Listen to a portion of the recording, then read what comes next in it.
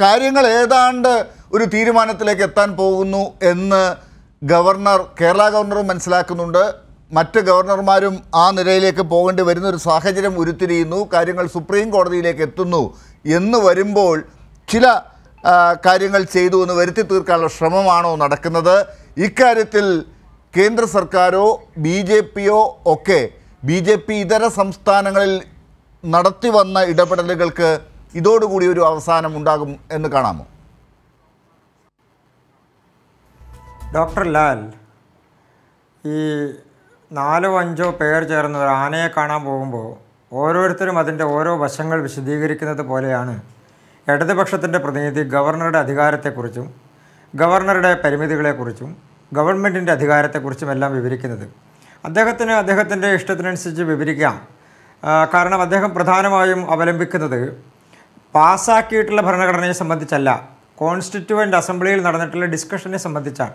അപ്പോൾ എനിക്ക് അദ്ദേഹത്തിനോട് ആ വിഷയങ്ങളിൽ പ്രത്യേകിച്ച് കൂടുതലൊന്നും പറയാനില്ല. കാരണം ആ ധാരണയിൽ ഇരുന്നു കൊണ്ടാണ് അദ്ദേഹം ഈ തരത്തിലുള്ള കാര്യങ്ങളെ കാണാൻ വേണ്ടി ആഗ്രഹിക്കുന്നത്. നമ്മുടെ ഭരണഘടനാ സംവിധാനം അനുസരിച്ച് ആർട്ടിക്കിൾ ഇരുന്നൂറ് അനുസരിച്ചിട്ട് ഒരു ഗവർണർക്ക് സംസ്ഥാന നിയമസഭ പാസ്സാക്കുന്ന നിയമം അല്ലെങ്കിൽ ബില്ല് അതുമായി ബന്ധപ്പെട്ടുകൊണ്ട് എന്തൊക്കെ ചെയ്യാം എന്നുള്ളതിനെ സംബന്ധിച്ച് കൃത്യമായി പറഞ്ഞിട്ടുണ്ട്. അതിൽ നമ്മൾ ഇത്ര ആവേശം കൊള്ളേണ്ട കാര്യമൊന്നും ആ കാര്യത്തിനകത്തില്ല. ഗവർണർമാർ നിയമിക്കപ്പെടുന്ന ആളുകൾ അവർ ഒറ്റക്കെടുക്കുന്ന ഒരു തീരുമാനമല്ല.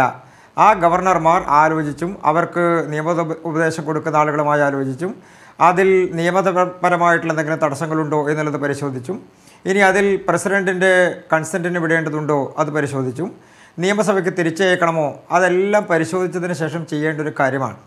പിന്നെ ലാൽ ചോദിച്ചൊരു പ്രധാനപ്പെട്ട കാര്യം സുപ്രീം കോടതിയിലേക്ക് പോയതുകൊണ്ട് ഉടനെ തന്നെ ഗവർണർ എന്തെങ്കിലും ഒപ്പിട്ടു. അങ്ങനെ ഒരു ധാരണയും എടുക്കേണ്ടതില്ല എന്നുള്ളതാണ് എന്റെ അഭിപ്രായം.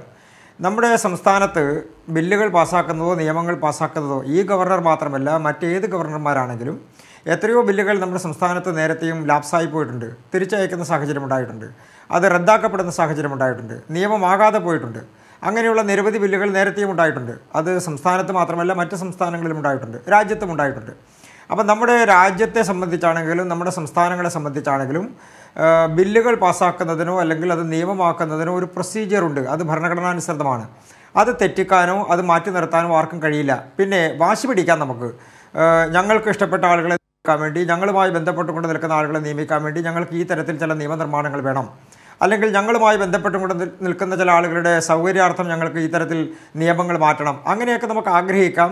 നിയമസഭയിൽ ഭൂരിപക്ഷം ഉണ്ടെങ്കിൽ നമുക്ക് അതനുസരിച്ച് ബില്ലുകൾ പാസ്സാക്കാം. ഉദാഹരണത്തിന് സർവകലാശാലകളുമായി ബന്ധപ്പെട്ടുകൊണ്ടുള്ള നിയമം. അത് കേന്ദ്ര നിയമങ്ങൾക്ക് ഒപ്പം നിൽക്കുന്നതാണോ? യു ജി സി മാനദണ്ഡങ്ങൾ അനുസരിച്ചിട്ടാണോ ആ ബില്ല് പാസ്സാക്കിയിട്ടുള്ളത്? പരിശോധിക്കപ്പെടേണ്ടതാണ്. മറ്റൊന്ന് ലോകായുക്തയുമായി ബന്ധപ്പെട്ടുകൊണ്ടുള്ള നിയമം. ആ ലോകായുക്ത നിയമത്തിൽ നേരത്തെ പ്രസിഡന്റിന്റെ അനുമതിയോട് കൂടിയിട്ടാണ് ഇത് പാസ്സാക്കിയിട്ടുള്ളത്. അപ്പോൾ പ്രസിഡന്റിന്റെ അനുമതിക്ക് വിടണമോ എന്നുള്ളത് പരിശോധിക്കപ്പെടേണ്ടതാണ്.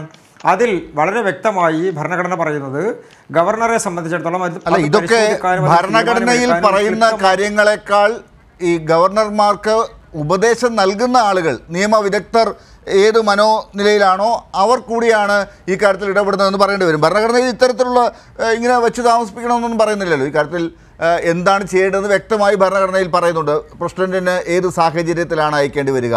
അതല്ലെങ്കിൽ തിരിച്ച് ഇത് ഗവൺമെന്റിലേക്ക് തന്നെ കൊടുക്കുന്നത് ഏത് സാഹചര്യത്തിലാണ്? എന്നൊക്കെ കൃത്യമായി ഭരണഘടനയിൽ പറയുന്നുണ്ടല്ലോ. അതങ്ങ് ചെയ്യാൻ നമുക്ക് അറിവ് പോരാ എന്ന് തോന്നുമ്പോഴാണ് നമ്മൾ മറ്റു പലരുടെയും ഉപദേശം സ്വീകരിക്കുന്നത്. അവർ ഉപദേശിക്കുന്നതിൽ വരുന്ന കാലതാമസവും അവരുടെ രാഷ്ട്രീയവും ഒക്കെ കൂടി കലരുമ്പോഴാണല്ലോ ഇപ്പോഴുള്ള പ്രതിസന്ധി പോലെയുള്ള കാര്യങ്ങൾ വരുന്നത്. ഞാൻ അതാണ് ചോദിച്ചു വന്നത്. ഇപ്പോൾ ഈ കാര്യത്തിൽ സുപ്രീം കോടതിയിലേക്ക് കാര്യങ്ങൾ എത്തുന്നു എന്ന് വരുമ്പോൾ പുറമേയുള്ള രാഷ്ട്രീയ ഇടപെടലുകൾ ബി ജെ പിയുടെ ഇടപെടലുകൾക്ക് ഒരു അറുതി വരുന്നുണ്ടോ? കൂടുതൽ കാര്യങ്ങൾ ചിന്തിച്ച് ചെയ്യേണ്ടതുണ്ട്. ഇപ്പോൾ കേരളത്തിൽ ഉദാഹരണമായി രണ്ട് ബില്ലുകൾ ഉടനെ ഒപ്പിട്ടിരിക്കുന്നു. ഇനി അടുത്തത് ഉടനെ തന്നെ വരും എന്നൊരു പ്രതീക്ഷ വയ്ക്കാമോ ആ, ഡോക്ടർ ലാൽ ഇതുമായി ബന്ധപ്പെട്ടുകൊണ്ട് ലാൽ ചോദിക്കുന്ന ചോദ്യത്തിൽ അതിന്റെ ഇടയിലേക്ക് ബി ജെ പിയുടെ പേര് കൂടി പറയേണ്ടതില്ല. കാരണം ഈ ബില്ലുകളുമായി ബന്ധപ്പെട്ടോ ഇത് നിയമമാക്കുന്നതുമായി ബന്ധപ്പെട്ടോ കേ ഗവർണറും തമ്മിൽ നടക്കുന്ന ആശയവിനിമയവും അതുമായി ബന്ധപ്പെട്ടുകൊണ്ടുള്ള നടപടിക്രമങ്ങളുമാണ്. അതിൽ ബി ജെ പിക്ക് യാതൊരു പങ്കുമില്ല. അതിൽ അഭിപ്രായം പറയേണ്ട സാഹചര്യവും ബി ജെ പിക്കില്ല.